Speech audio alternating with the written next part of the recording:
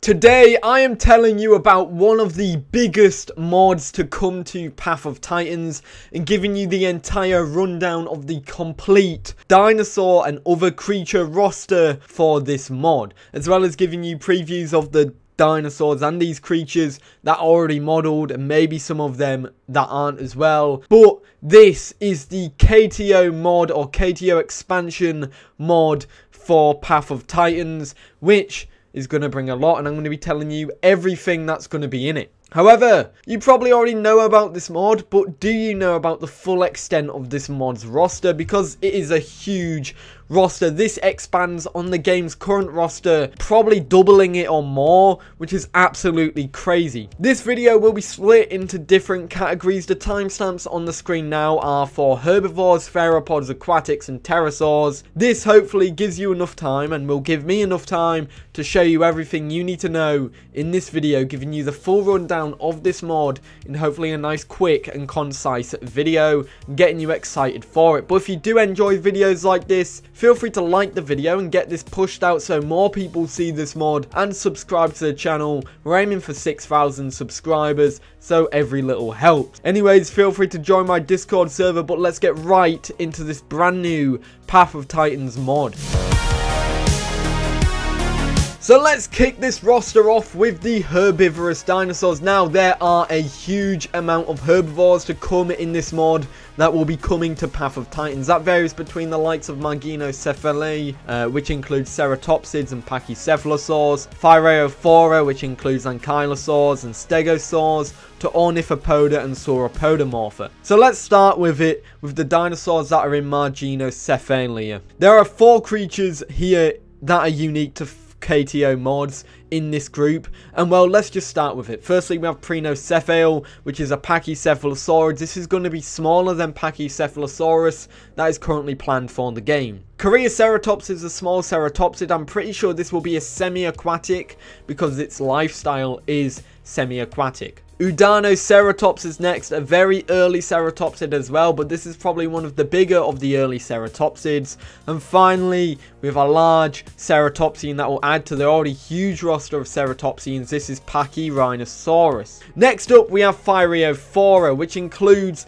some new dinosaurs like the tiny Scutellosaurus, the southern from Antarctica Antarctopelta, Gigantspinosaurus, the only stegosaur in this mod, and finally Ankylosaurus, a must-have dinosaur for Path of Titans in my opinion. Next up we have Ornithopoda, which has five unique dinosaurs to it in KTO mods. Adds a whole bunch of variety to the already existing ornithopods that are in the game that are Camptosaurus, Barsboldia, and Lambeosaurus, and Iguanodon. So here we have Lianolosaurus, which would be the smallest dinosaur in the game. Thescelosaurus, which is also smaller than Camptosaurus. Parasaurolophus, which I think is an absolutely beautiful model, and they've got some amazing skins on it. Next up, we have Lurdosaurus, which is like Iguanodon. And finally, have the one that's going to put Barsboldia to shame, Shantungosaurus, the biggest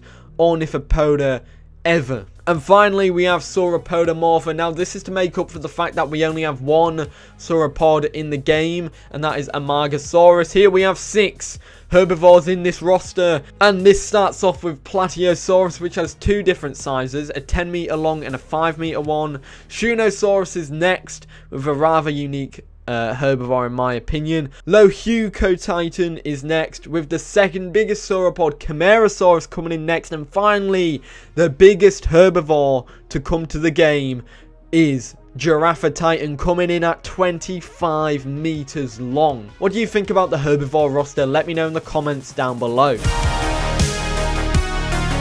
Now for the theropod dinosaurs in this mod pack, we technically have a wide range of dinosaurs here because, well, they're not all carnivores. We have the likes of therizinosaurs, dino birds, and Oviraptorids, but we do have a big roster nonetheless. So I'm going to try and go over this. Firstly, we're going to go over the dinosaurs that are smaller than 1 meter tall. Then we'll go over the ones that are in the mid-size category. And then we're going to go over the big ones that you all know and love and be excited for. Let's so, let's get right into these small dinosaurs. We have Anchiornis, Hulsanpes, Shuvuia, Sinosauropteryx, Yanyan Hulong, Buitreraptor, and finally Spectrovenator. Next up, we have those that are over a meter tall in the mid-sized category. We have Pelecanimimus, Balaur Anzu, Dakotaraptor, Dilophosaurus, and Nanshiungosaurus. Now I'm stopping here because the next category is going to be full of dinosaurs that you will be excited for. I'm sure you'll be excited for these dinosaurs because these are big,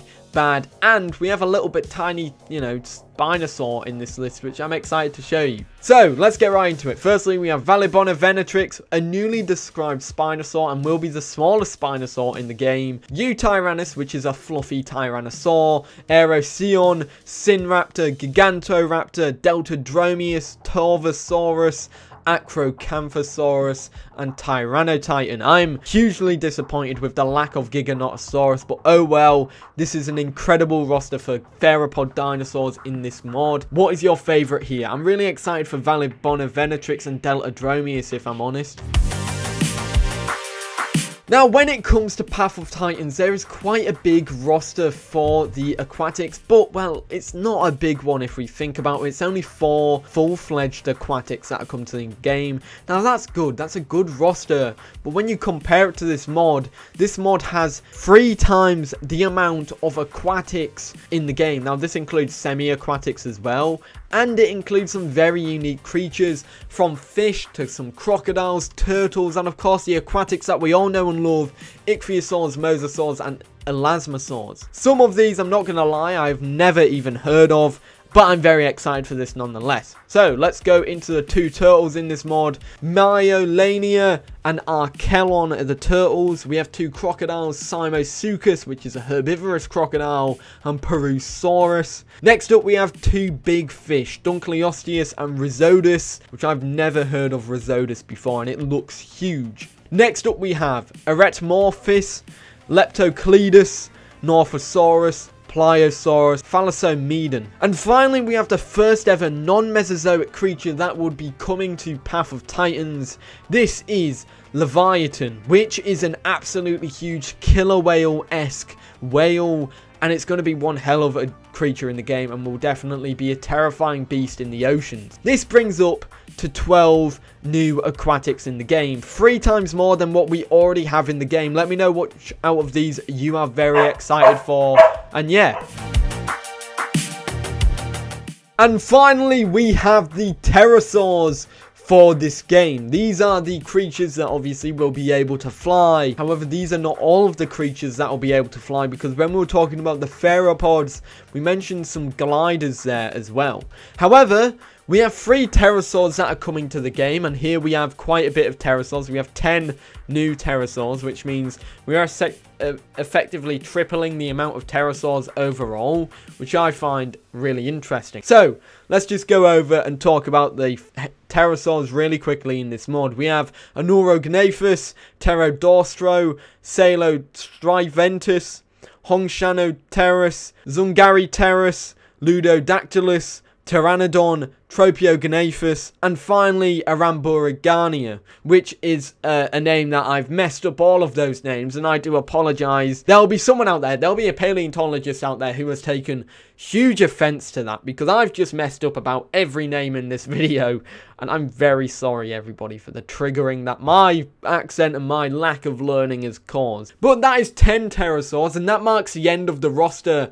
Let me know what you think about this roster. It's definitely an interesting one, and it's my favourite roster out of any mods. And if you do have any mods, feel free to let me know if you want me to cover them. Of course, guys, that marks the end of this video here. I do hope you enjoyed it. What do you guys think about KTO mods? The biggest dinosaur mod to come to Path of Titans. If you do have any other mods you want me to cover in this game, feel free to let me know in the comments down below because it's going to be interesting and I really want to bring some of these mods to the spotlight. Anyways, guys, I do hope you enjoyed and I'll see you all in the next one. Have a great day. Peace.